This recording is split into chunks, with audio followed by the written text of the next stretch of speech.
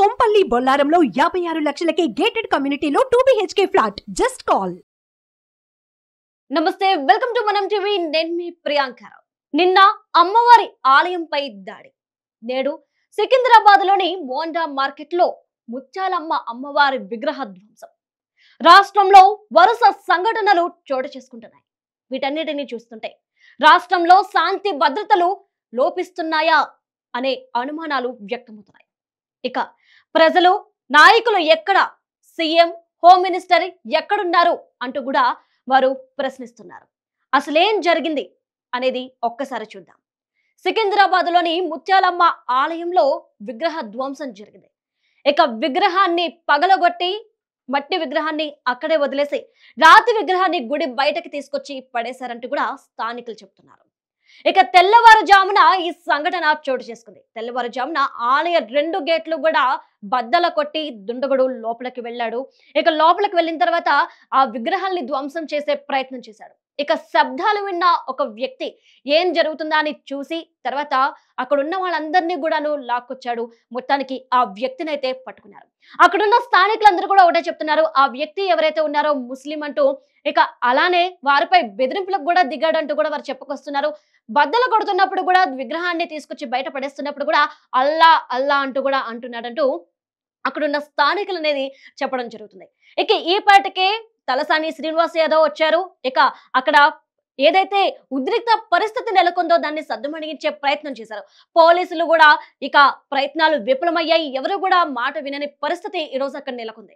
ఇక్కడ హిందువులకి అన్యాయం జరుగుతుంది. హిందువులకి రక్షణ లేదు అంటూ కూడా వారు ఆరోపణలు చేస్తున్నారు. ఇక ఇదే నేపథ్యంలో బీజేపీ పార్టీ ఆ, సభ్యురాలు ఇక మాధవిలత కూడా వెళ్ళారు. అక్కడికి వెళ్ళి అక్కడ జరిగిందంతా కూడా బ్యారిగేడ్స్ ఏవైతే కట్టున్నాయో వాటిని తీసి లోపల ఏం జరిగింది అనేది ఆవిడ చూపించి చెప్పే ప్రయత్నం చేశారు. ఇక ఆవిడ కూడా అక్కడున్న ప్రజల్ని ఉద్రిక్త పరిస్థితిని సద్దుమణిగించే ప్రయత్నం చేసినప్పటికీ కూడా ఎలాంటి ప్రయోజనం కూడా లేకుండా పోయింది. ఇక ఇదే నేపథ్యంలో కేంద్ర మంత్రి కిషన్ రెడ్డి కూడా వెళ్ళారు. ఇక కిషన్ రెడ్డి గారు కూడా అక్కడికి వెళ్ళి అక్కడ జరిగిందంతా కూడా తెలుసుకున్నారు. మొత్తం ఏం జరిగింది విగ్రహ ధ్వంసానికి సంబంధించి అసలు వాతావరణం అంతా కూడా పరిశీలించారు. తర్వాత పోలీసులకు కూడా కీలకమైన ఆదేశాలు ఇచ్చినట్టు కూడా తెలుస్తుంది. త్వరతగతిన ఈ కేసుని ఛేదించాలి. అసలు ఏం జరుగుతుంది రాష్ట్రంలో? మత కల్లోలాలు రేగుతున్నాయా? అసలు వెనుకుండి నడిపిస్తున్నది ఎవరు?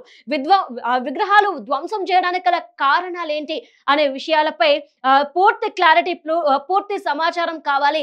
త్వరతగతిన విచారణ పూర్తి చేయండి అంటూ కూడాను వాళ్ళకి ఆదేశాలు జారీ చేసినట్టు మనకు తెలుస్తుంది. ఇక ఇదే నేపథ్యంలో అక్కడ ఉన్న వాళ్ళందరూ కూడాను ఇక్కడ శాంతి భద్రతలు లోపిస్తున్నాయి అంటూ కూడా ఆరోపణలు చేస్తున్నారు. ఇక ఇదే నేపథ్యంలో చూసుకుంటే గనక ఇక పోలీసులు కూడా ఎంత చెప్పినా గానీ అక్కడున్న స్థానికులు వినే పరిస్థితుల్లో అయితే లేరు. ఇక ఇక ఇదే నేపథ్యంలో స్థానిక ఎమ్మెల్యేని కూడా అక్కడికి రానివ్వలేదు. అయితే స్థానిక ఎమ్మెల్యే సంఘటనా స్థలానికి చేరుకున్నారు. ఇక చేరుకున్నాక Sri Ganesh go back Sri Ganesh go back అంటూ కూడా జనాలు గోల చేయడంతో వాళ్ళు నినాదాలు చేయడంతో అక్కడ ఎమ్మెల్యే వెనుదిరగాల్సిన పరిస్థితి నెలకొంది. ఇక్కడ పోలీసులు ఎంత చెప్తున్నప్పటికీ కూడాను దుండగుండి మేము అదుపులోకి తీసుకున్నాం. దీనికి గల ఈ ఘటనకు గల పూర్తి వివరాలు మేము త్వరలోనే వెల్లడిస్తాము. కాస్త మీరు శాంతించండి అని చెప్తున్నప్పటికీ కూడాను ఎవరు కూడా శాంతించట్లేదు. కేవలం వారి ప్రశ్నలు కొన్ని ఉన్నాయి ఈరోజు ఆ వాళ్ళు అడుగుతున్న ప్రశ్నలు కావచ్చు మాధవీలత గారు అడుగుతున్న ప్రశ్నలు కావచ్చు ఈరోజు అందరినీ కూడా ఆలోచింపచేస్తున్నాయి. అవేంటి అంటే విగ్రహ ధ్వంసం ఎందుకు జరిగింది? రెండు ఆలయాలపై విగ్రహ ధ్వంసం దాడులు జరుగుతుంటే పోలీసులు కానివ్వండి అక్కడ ఉన్న వాళ్ళు కానివ్వండి ఏం చేస్తున్నారనే ప్రశ్న. ఇక ఇది కేవలం దొంగతనానికి దొంగతనం చేయడానికి మాత్రమే దుండగుడు వచ్చాడు అంటూ కూడా చెప్తున్నారు. కానీ ఒకవేళ దుండగుడు వస్తే గనక బంగారాన్ని తీసుకెళ్ళాలి కానీ విగ్రహాన్ని ఎందుకు ధ్వంసం చేశాడు అనే ప్రశ్న కూడా ఇక్కడ ఉత్పన్నమవుతుంది. ఇక మూడవ ప్రశ్న ఒకవేళ బంగారం కానీ డబ్బులు కానీ దొంగతనానికి వచ్చిన వ్యక్తి అయితే మంచి ఇండివిజువల్ హౌసెస్ లాంటివి వెతుక్కుంటారు విల్లాస్ లాంటివి. లేదంటే గనక హుండే మీద అతని కన్ను పడుండేది హుండేని ధ్వంసం చేసి డబ్బులు తీసుకెళ్ళి ఉండేవాడు. కానీ విగ్రహాల్ని ఎందుకు ధ్వంసం చేశాడు? విగ్రహాల్ని ధ్వంసం చేశాడు అంటే ఇదంతా కావాలని చేస్తున్నట్టే అంటూ కూడా ఇక్కడ మాధవీలత గారు అలానే స్థానికులు కూడా ఆరోపిస్తున్నారు. నిజంగా ఇప్పుడు ఈ మూడు ప్రశ్నలు కూడాను ఆలోచింపజేసేలా ఉన్నాయి.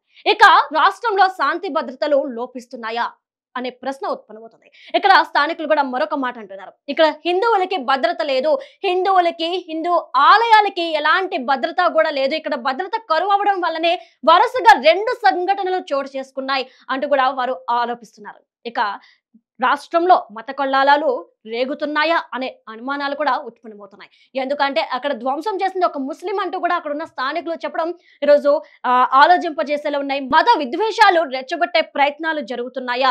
మత దాడులు జరిగే ఆ, సూచనలు కనిపిస్తున్నాయా అనే అనుమానాలు అయితే వ్యక్తమవుతున్నాయి. వీటన్నిటికీ ఒక క్లారిటీ రావాలంటే ఆ దుండగుడు నోరు విప్పాలి. అసలు అక్కడ ఏం జరిగింది అనేది కూడా తెలిసి ఉండాలి. ఇక హోమ్ మినిస్టర్ ఎక్కడ అనే ప్రశ్న కూడా ఇక్కడ స్థానికులు వేస్తున్నారు. హోమ్ మినిస్టర్ ఎక్కడున్నాడు త్వరతగతిన బయటకు రావాలి. వీటన్నిటికీ ఈ దాడుల వెనుక ఉన్నది ఎవరు అనేది ఈ దాడులకు సంబంధించి నోరు విప్పాలి అంటూ కూడా ప్రభుత్వంపై దుమ్మెత్తిపోస్తున్నారు ఇక మొత్తం మీద ఈ దాడుల వెనుక ఎవరున్నారు? ఏం జరిగింది? ఎందుకు ఇలా వరుసగా ఆలయాలపై దాడి చేశారు? అనే విషయానికి సంబంధించిన కారణాలైతే తెలియాల్సి ఉంది.